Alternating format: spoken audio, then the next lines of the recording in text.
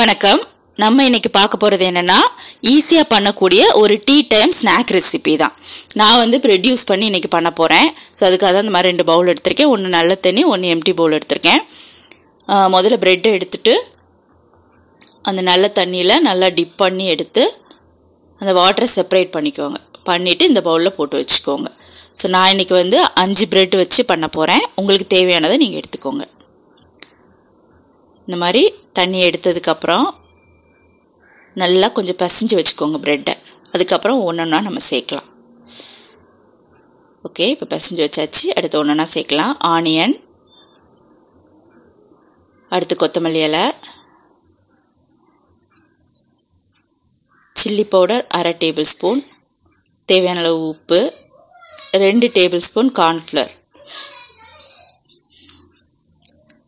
அடுத்து ரெண்டு table spoon அரிசி மாவு.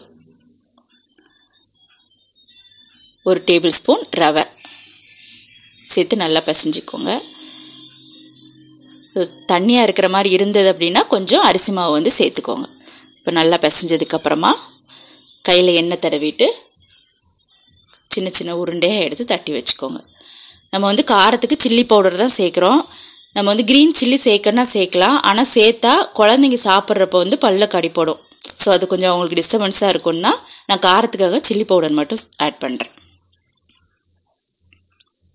ஸோ இதே மாதிரியே எல்லாத்தையுமே தட்டி ரெடியாக எடுத்து வச்சுக்கோங்க.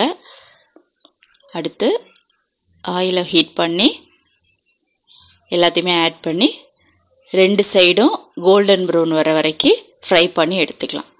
ஸோ ரொம்ப ஈஸியான ரெசிபி ஒரு டென் மினிட்ஸில் வந்து நம்ம பண்ணிடலாம் டீ போடுற டைம்லேயே பண்ணி முடிச்சிடலாம் டேஸ்ட் ரொம்ப நல்லாயிருக்கும் டீக்கு ஒரு நல்ல காம்பினேஷன் ஸோ எல்லோரும் கண்டிப்பாக ட்ரை பண்ணுங்கள் தேங்க்யூ